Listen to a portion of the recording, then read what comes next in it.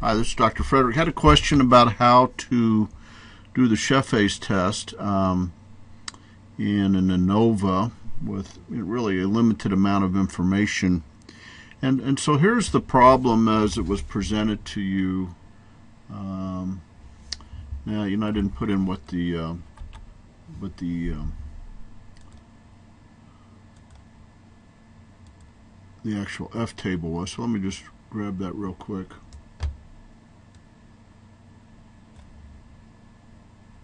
Okay, so there's the actual F table.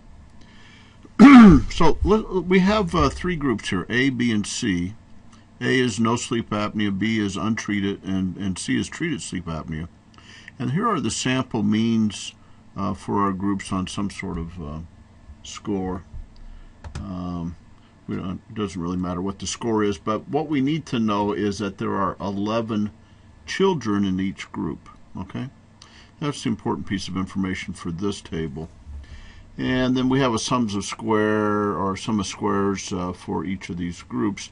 Now we have our main ANOVA table that answers the question of whether you know there is some uh, significant uh, difference between these groups in terms of the sample means.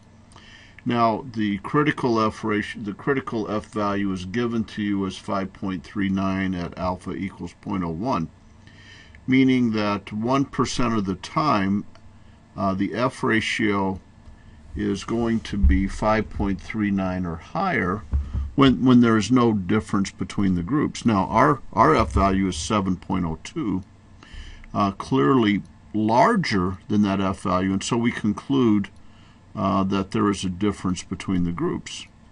And so now we're going to say what are the differences, and we're going to do a very conservative test called Scheffe to tell us. Now, it's, it's not real obvious if you look at the book how to do this, but I got this straight out of the book, and here's how we're going to do this.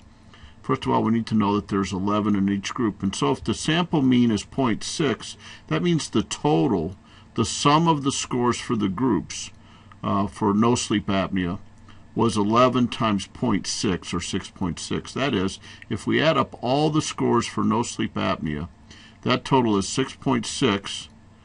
And um, let me just make this a little bigger for you. Okay. When we add them all up and, and get 6.6, if we divide by 11, we get the sample mean of, of 0.6. So this is the missing piece of information that they want you to try to figure out in the apnea problem. Here the mean is 0.45. There are 11 people in that group, 11 children, and 11 times 0.45 gives us the total. This T, you know, this T is for total. The total of the B scores is 4.95, so forth. Now let's just look at the sums of squares between A and B. Okay, so the way you do that is uh, if the total here is 6.6. We square that and divide by the number in the group. Then we add that to the um, to the next value, 4.95 squared divided by 11 in the group. Now add these two values together, 6.6 and 4.95 to get 11.55. Square that and divide by the total of these two groups, 22.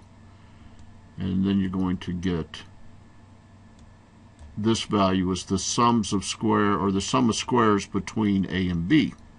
Now, if you want to do um, A and C, then you know you're just going to put in the uh, C value here, and then the new total here.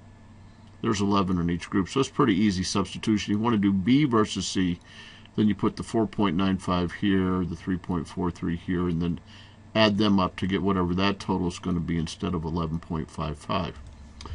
So once you figure out, you know, the, the, the whole idea here is that they're going to trick you a little bit by not giving you all the data that are in the book and they just want you to figure out that if you have 11 children and your sample mean is 0.6 then the total the t was 6.6 uh, it's the only book I've ever seen to, to use t for total everybody else use you know sum or sigma f or something like that okay sigma x is what I would use um, hope that's helpful. It's not, just let me know.